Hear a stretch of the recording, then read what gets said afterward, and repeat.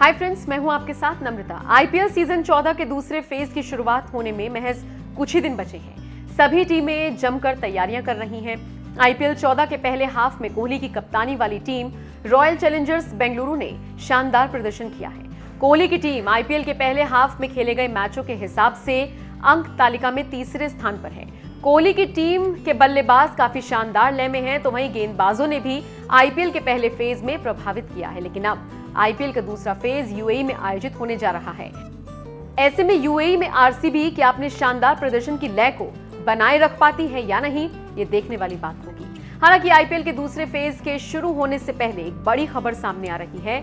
RCB ने अपने official Twitter handle पर एक वीडियो साझा किया है और बताया है कि आरसीबी आईपीएल के दूसरे फ़ेज़ में एक नए रंग की जर्सी में खेलती हुई दिखाई देगी।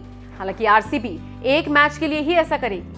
आरसीबी आईपीएल के दूसरे फ़ेज़ में नीली रंग की जर्सी में एक मैच खेलती हुई दिखाई देगी। ये खास मुकाबला 20 सितंबर को कोलकाता के साथ खेला जाएगा।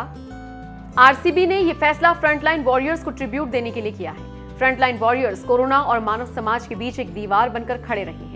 यही वजह है कि कोरोना के खिलाफ लड़ाई में सबसे आगे रहकर अपना योगदान देने वालों का शुक्रिया अदा करने के लिए कोहली की टीम नीली जर्सी पहनकर मैदान पर उतरेगी। खिलाड़ियों की जर्सी पर नंबर और नाम के साथ खास मैसेज लिखा गया है। जर्सी पर मास्क पहनने, वैक्सीन लगवाने और हाथ धोने जैसे संदेश दिए गए हैं। आरसीबी के द्वारा साझा की गई वीडियो में कोहली ने बताया कि फ्रेंचाइजी इसके लिए वित्तीय मदद देगी।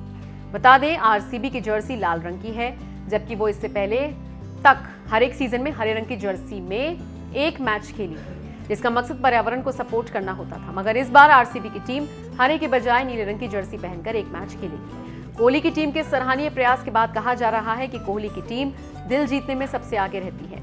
हालाँकि देखने वाली बात होगी कि हर सीज़न में दिल जीतने वाली ये टीम इस सीज़न अपना पहला खिताब जीत पाती है या नहीं।